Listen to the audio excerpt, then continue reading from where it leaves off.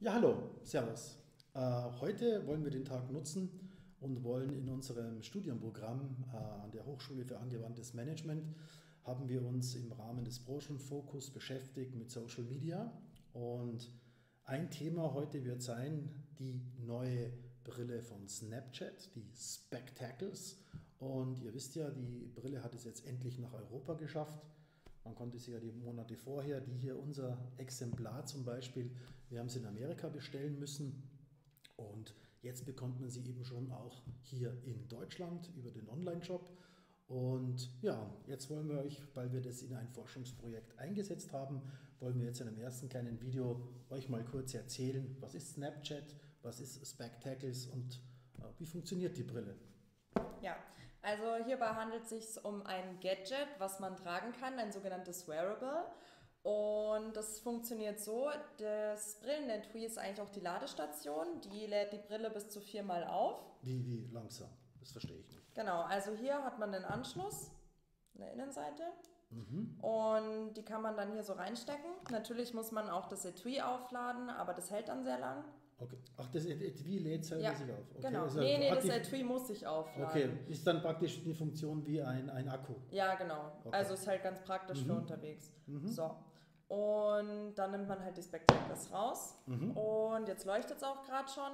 Wenn ich filme, ähm, ich mache das jetzt einfach ja. mal zur Demonstration. Vielleicht auch unsere Zuschauer, dass die ja. das sehen. Also ich drücke jetzt hier oben auf den Knopf und dann leuchtet das hier und es wird mir auch innen angezeigt, wenn ähm, es aufhört zu filmen. Wenn nur noch zwei Sekunden von der Filmzeit übrig sind, was zehn Sekunden sind übrigens, dann blinkt es hier zweimal auf. Genau. So, ah ja. Das heißt, wenn du das jetzt aufhast und äh, du filmst jetzt hier unsere Kamerafrau, dann würde die mitbekommen, dass du das filmst. Genau, ja? hat ja, hat ja gerade geleuchtet. Genau, das heißt, Snapchat hat eigentlich im Gegensatz, wenn ihr euch erinnert an die Google-Brille, hat Snapchat eben oder will Snapchat die Privatsphäre der Objekte oder der Menschen, die man aufnimmt, äh, praktisch Rücksicht nehmen, weil die andere Person natürlich mitbekommt, Achtung, da, da, da, bewegt sich was, da leuchtet was, ich werde wahrscheinlich gerade im Moment aufgenommen. Also eigentlich dieses Leuchten ein Hinweis, äh, dass eben hier gerade eine Aufnahme leuchtet.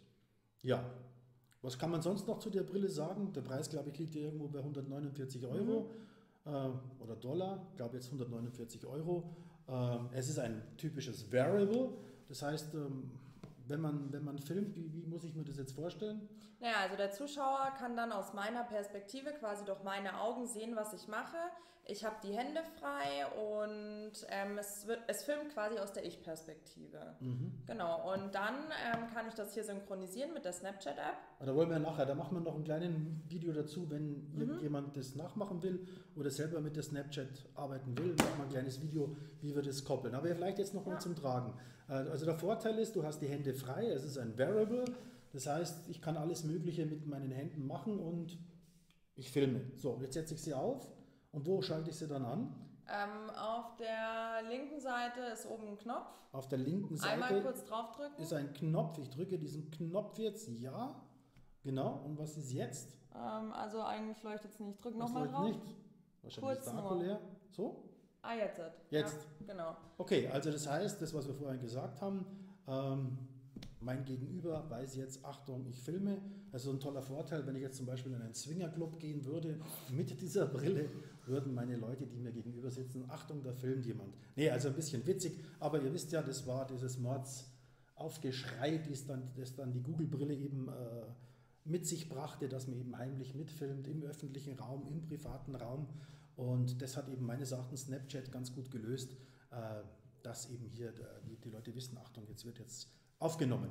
Ja gut, und was würdest du sagen, äh, die Hauptanwendungen oder wie, wie, wie, wer, wer könnte jetzt, momentan ist sie ja noch als Spaßbrille, wir zeigen euch nachher, dass man sie eben auch für Forschung einsetzen kann, aber für Spaßbrille, was, was, was ist da der Unterschied, wenn du vorher nur mit dem Handy gefilmt hast in einem Social-Media-Kanal, warum ist das besser?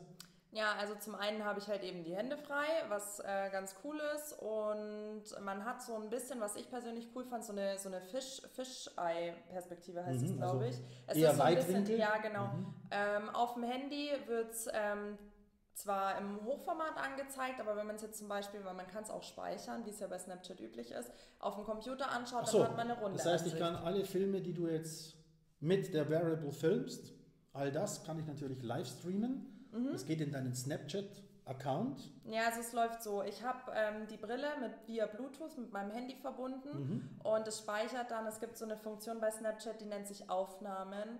Da speichert es dann unter Specs ähm, meine ähm, Videos, die ich mit der Spectaculars gedreht habe und da kann ich sie dann live schalten. Okay. Weil bei Snapchat ist es so, wenn ich ein altes Video in meine Story poste, dann sehen meine Follower quasi, dass es ein altes Video ist. So ist das bei der Spectaculars aber nicht. Okay. Also es wäre dann quasi live ähm, und ja, das Wichtige ist halt nur, dass es mit Bluetooth verbunden ist. Okay, das erzählst du uns aber Ja. nachher, wie wir das koppeln.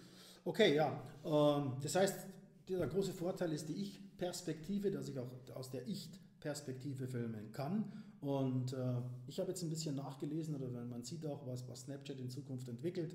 Ähm, Snapchat ist eben auch dran, Augmented Reality in diese Brille mit einzubauen. Das heißt, äh, dass wir dann eben, wie wir aus anderen äh, Bereichen, äh, das uns schon bekannt ist, wir können also die Gesichter dann vielleicht noch irgendwie einen Schnurrbart hinmachen oder Katzenzungen oder Katzenohren Filter und natürlich und Sticker. Filter und Sticker. Und man kann natürlich auch in Zukunft äh, schon auch ernsthaftere Sachen machen, zum Beispiel eingeblendete Geoinformationen über Wikipedia, über Gebäude zum Beispiel.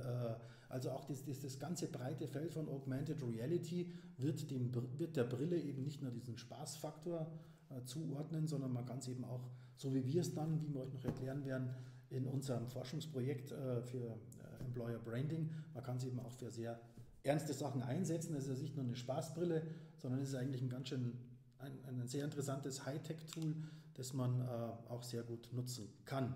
Und wir sehen, dass das die Zukunft sein wird in vielen Bereichen, weil ihr wisst ja, äh, Facebook arbeitet letztendlich auch an so einer Brille. Facebook wollte ja auch irgendwann mal Snapchat kaufen, was ihnen aber nicht gelungen ist.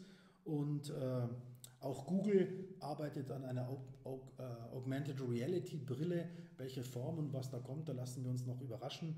2017, Ende 2017 äh, sollte hier, glaube ich, in Zusammenarbeit mit, äh, mit Zeiss, äh, möchte da eben Apple etwas auf die Reise bringen, was auch in diese Richtung geht. Also die Richtung, äh, die uns dann jetzt in, in der nächsten Zeit äh, einholt in der Kommunikation, ist also Bewegtbild und es wird auch sehr, sehr viel, wie wir sehen, eben Livestreaming sein. Okay, dann vielen Dank für die Erklärung. Recht interessantes Tool. Und ja, in dem nächsten Video zeigen wir euch, wie ihr die Brille mit eurem Handy koppelt. Und dann werden wir noch darauf eingehen, wie wir das hier an der Hochschule äh, zu Marktforschungszwecken oder zu kommunikativen Anwendungen eben eingesetzt haben. Ja? Okay, also dann vielen Dank fürs Zuhören. Bis dann. Tschüss.